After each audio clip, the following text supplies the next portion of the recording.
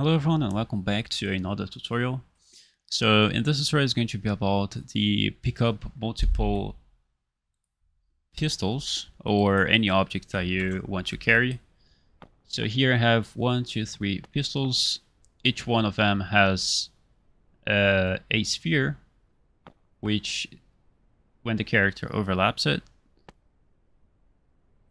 the character is going to be able to pick up the pistol. So when I press F, you're going to be able to pick up. And for dropping, you can press F again, and it's going to drop the pistol. And if I want to come to the, this pistol here, it's going to work. This one here, like this. And so this code is going to allow us to pick. Oh my, my pistol is glitching there. That's because of the physics asset, you don't need to worry about this. But uh, as soon as, yeah, the pistol just disappeared. But uh, as soon as we overlap this box collision, this sphere collision, sorry, we can, uh, we are able to pick up the nearest pistol that is near the character, okay? So let's go for it. So it doesn't matter if I just come down here and duplicate this, duplicate this, and I press play here.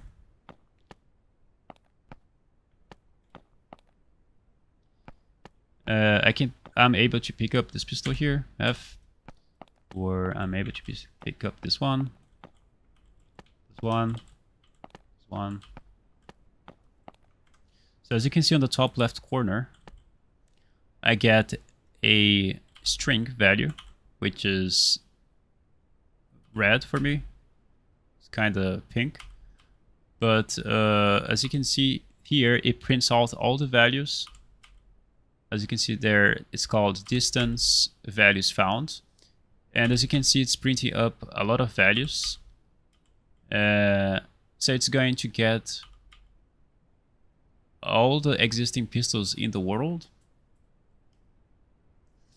and get the distance of them relative to the character and it's going to save that indexed and it's going to allow the character to pick up that specific pistol that is near there is the the nearest pistol uh, relative to the character's location.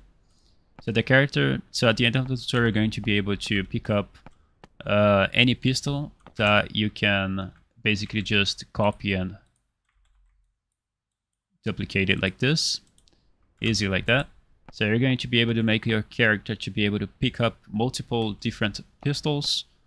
Uh, and Zella is going to be able to pick up the nearest pistol, pistol uh, from relative to the character's location.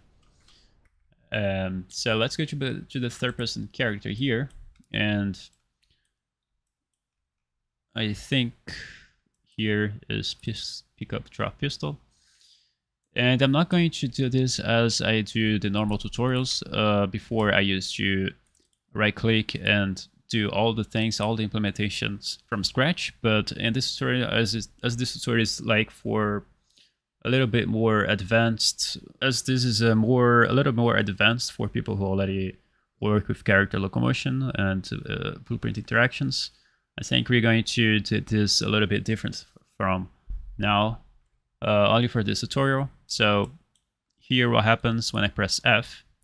So I just want to basically explain what I did instead of uh, doing everything from scratch, which is going to take a lot of time. So when I press F here, I'm going to choose a key. So F key. So you're going to get the, the F key event. I'm going to create a boolean called can pick up pistol and create another one for checking if the character is holding a pistol, right? So I'm going to get a branch, and if the character can pick up the pistol, it's going to go to, if the character cannot pick up, well, actually this variable here, the only way that it can get changed is inside the pistol blueprint. So let's go ahead and browse to the asset. Let's start off by browsing to where my pistol is, right? So here I have my, so here I have my skeletal mesh. Uh, if I double click on that, here we go. Here it is. It's very nice. Um, so what you're gonna do, we're going to just basically right click, go to asset actions, create a blueprint using this. So uh, once you've created that blueprint, it's going to be like this. If you go to the viewport, uh, we're going to see it like this, skeletal mesh. So here you can add a sphere collision. So you can go to sphere, go to add sphere, sorry, sphere collision. So you're going to choose this one and you're going to scale it. And this is going to be the, the location of where the character is going to be able to uh, pick up the pistol. So as soon as he overlaps this sphere here, he's going to be able to pick up the pistol that is overlapping. Um, and scrolling down here, as you can see, I have added with the plus sign here on events, you're going to add down component begin overlap and end overlap. So let's go ahead and view it. So the first thing we're going to do this in this pistol blueprint here is going to get the actor of a class. So you're going to select the name of your current character name, as mine is BP third person character player. So you're going to get the actor and save the reference. So uh, by saving the reference, once the character overlaps this box collision here, the character is going to be able to pick up the pistol, right?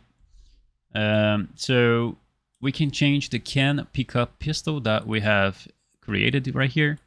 So we're going to be able to change this variable based if the character just overlapped the sphere trace or not. So as soon as the character begin overlap, uh, we're going to set that vari variable that is inside here of our character's blueprint to be true. And we're going to print a string just to say if the character just overlapped the box collision, the sphere collision, or not. And if it is false, uh, I think this false is not going to be executed. But you can you can do it like this if you want to, but it's not necessary. Do it like this. If it's false, then disable this variable here. Um, so here on component end overlap, so it does what it says. It sets the, it's going to set the character ability to pick up the pistol. So once it's true, that means that the character ends, and ended the overlap of the sphere trace. That means that the character just step out of it. And we're going to set if it's true then we're going to set the can pick up pistol to off. So we're not going to be able to pick up the pistol anymore. So going back to the third person character here it, if the character can pick up the pistol that means that the character just overlapped the sphere trace then we can be able to pick up the pistol uh, it's going to go to another branch and it's going to check if the character is already holding the pistol right of course, this variable is going to be true because it's going to be the first time that we're going to we're going to hold the pistol. So it's going to, of course, be false. And after we go to false, it's going to go to a sequence, which is going to execute multiple codes here. So I'm going to go uh, through them later. Here on the get the reference, we're going to get the all the actors of a class of that BPSW39. of the pistol reference. So we're going to type here BP W39. And so we're going to choose this one. Don't worry about the child. I'm going to explain you later how it's going to work. So I'm going to do once because I want to get the, the reference only once, right? I'm, I do not want to get the reference every time. Uh, and here, and here I'm going to promote alt actors to a variable. And this variable is an array. An array type, a variable type of array means that we can store multiple references in one array. So we can store a lot of references in one variable, right? Uh, so as we have more than one pistol, then we, we need a, an array, right? So here we have pistol actors. And after then zero is completed, as after we get the reference, then it is going to go to then one, which is going to grab here I have, I have added the comment, which is to check the distance of all actors relative to the player, and also get the nearest distance value relative to the character. It's the same. It's the same thing. Relative to the player, relative to the character, same thing. So let's suppose you have two pistols here. So on this for each loop here, out of the loop body is going to execute whatever comes after this is going to execute two times. I think that's how it works. I don't know, but I think that's how I I understand. Uh, if I have, if I would add more here, for example, three or four, then on this loop body is going to execute four times because I have four pistols on uh, pistols because I have four pistol references on one array here, on one variable. Uh, right? So it's going to depend on how many references you have. So it's going to execute this. Uh, so the times that it's going to take for it to be executed. Yeah, you understood. And we're going to compare the distance. So we're going to say, oh, what's the distance of between this actor and the other actor? So we're going to print out a value. So here on the return value on the output, we're going to print out what is the distance relative to that one pistol to the character. And now you might be asking, oh, how are we going to get all the information? Uh, where are we going to store all these informations of uh, distance of where the character is at relative to where the pistol is at. Uh, I'm going to try to do a simple drawing here. So let's say we have our character here. So we have our character here. So as soon as we execute the get to all actors of a class, uh, we're going to reference all the pistol references in here. We're going to execute, uh, sorry, we're going to store all the pistol references inside this array here. So we're going to get this pistol reference, this pistol reference, this one, and this one. So it's going to store four pistol references inside this array here. Uh, if I were to run a for each loop here, so we're going to take all these four uh, pistol references here, and on this execution pin here, whatever we execute is going to run four times. So what I've done here, I want to print a string, and I want to get each reference and I want to print out the distance relative to the character and all the other uh, uh, pistol references, right? So I guess you understood. So we're going to uh, put the array element here, which is the pistol to be referenced. Wait, sorry, which is the pistol to be referenced, and we're going to print out. So as soon as I press play here, I want to quickly go over this. I think I've I am missing four. I am missing two of them. I press play. And as soon as I press F, nothing happens because I'm not near a pistol. So when I'm near, press F. And as you can see, there are distance values found and you're gonna be able to see uh, which pistol is near the character right uh, so it's going to get that distance and it's going to calculate what's the nearest pistol so we're going to save the distance and we're going to add all the informations of the uh, distances between the actor between the character uh, from the pistol, from all the pistol references. So what we're gonna do here, we're going to store distant values between all the existing pistols in the world and print the lowest distance value relative to the character and its respective index. So to get the respective index was a challenge for me because I I didn't know about this node here called minimum of a float array. So this is going to basically get the lowest value between an array. As we are getting the distance, the distance relative to the character from all the existing pistols in the world, So this is going to contain four arrays of different values. And we need to get the lowest value and its respective index. So its respective index is going to represent which exactly weapon we are trying to get the reference of. So here we add the array and we set the delay duration because we need to give it a little bit of time for it to be executed, right? For this function to be executed. So as soon as we get the nearest object, the minimum, the lowest value of the uh, array, and we're going to know what's the index of the the value, its respective index, and we're going to print out the nearest distance.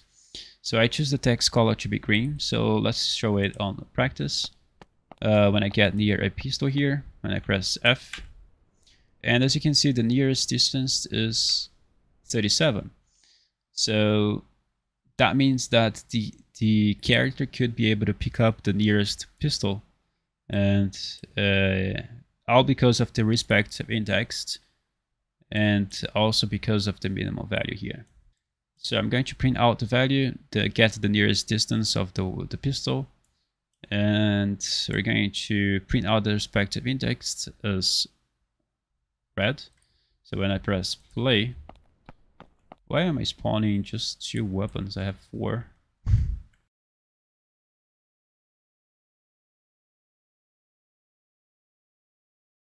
I have all the four pistols here, and when I press F, as you can see, it, prints out as zero.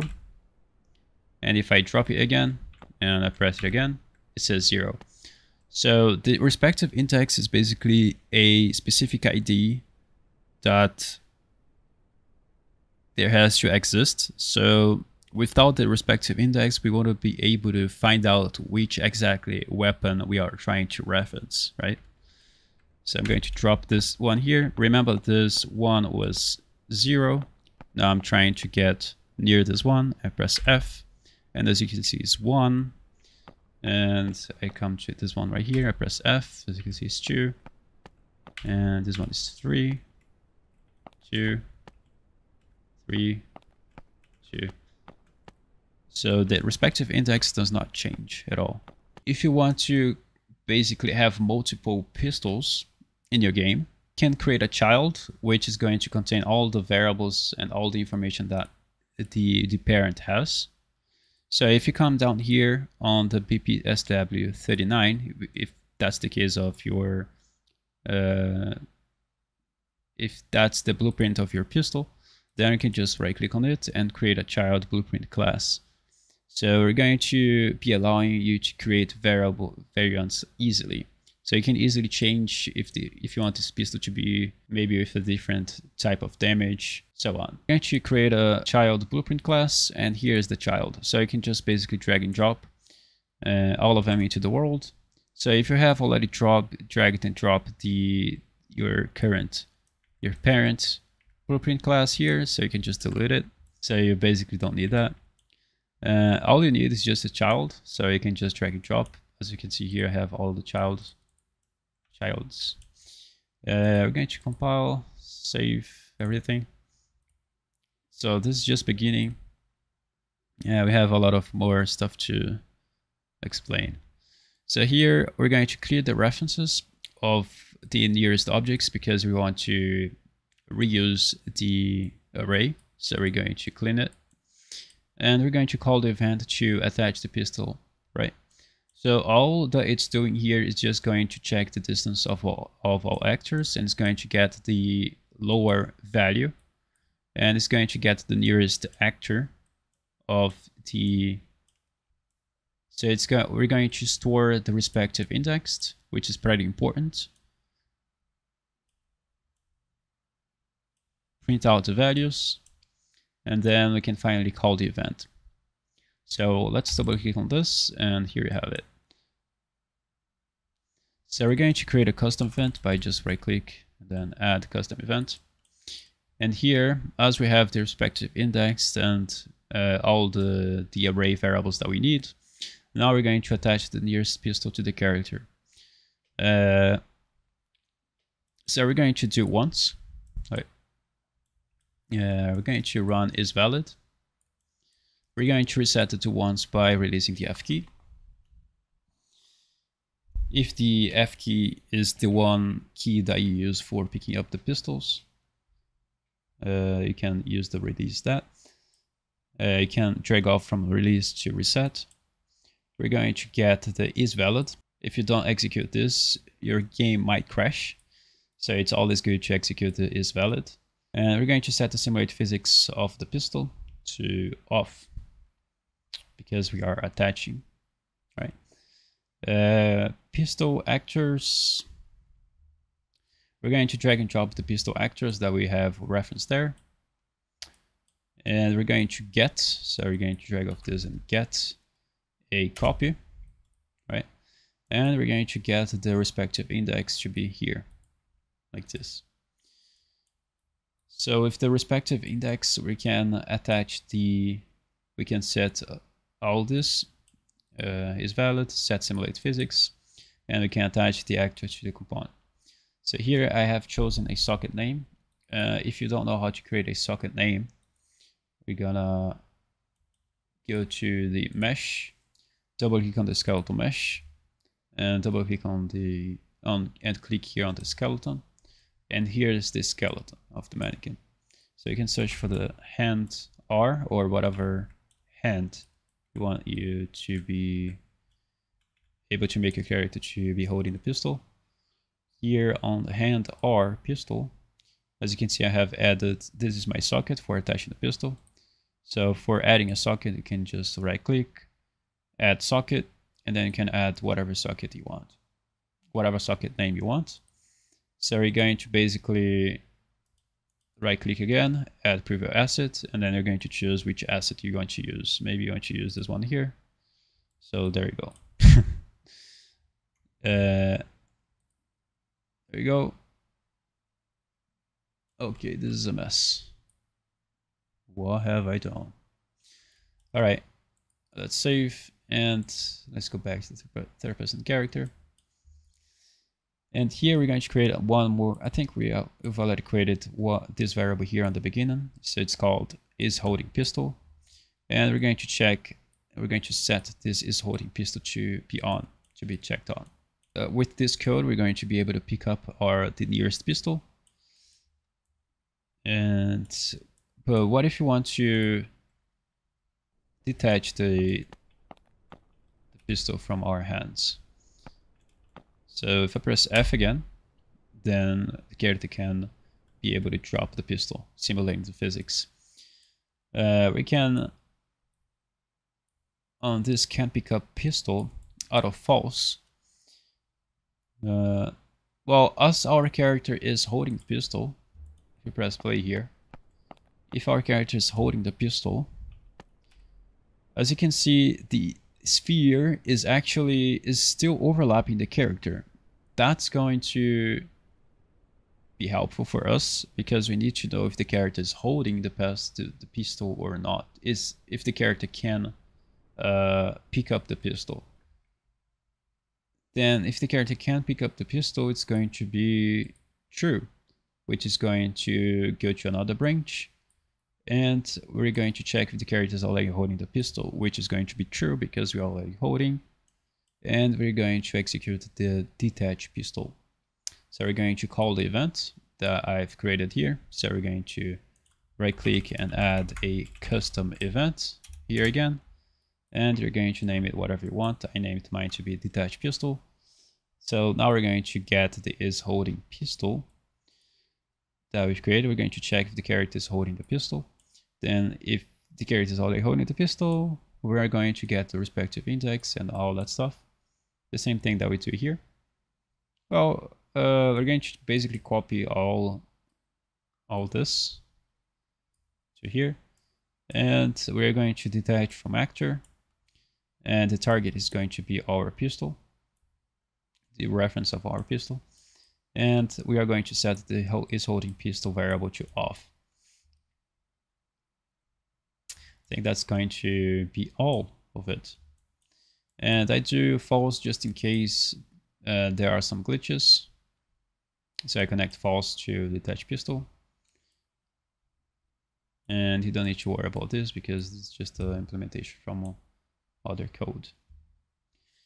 So I think that's going to be it. So what's basically doing here, uh, once we overlap the sphere trace, this variable is going to be turned to be true, right?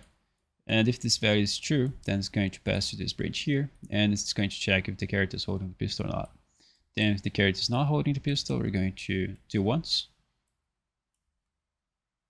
Uh, so we're going to be able to execute this code only once. We're not going to be able to execute anymore because you only need to get all actors of a class only once because you're not going to be spawning any new pistol to the world, right? You're not going to be spawning any other pistol in the world.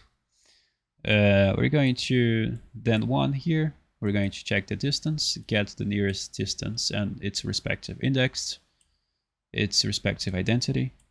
Uh, we're going to clear the references so we can uh, attach more values to the array. So we can reset the values to the array. We're going to attach, this is the attach event, and it's going to attach actor to the component to the respective socket name. So yeah, I think I've gone through everything. So I think that's going to be it for the tutorial. I hope you enjoyed. If you have any questions, comment down below. You can join our Discord server for more explanations about nodes and so on. That's going to be it. I hope you enjoyed and I see you in the next one. Bye bye.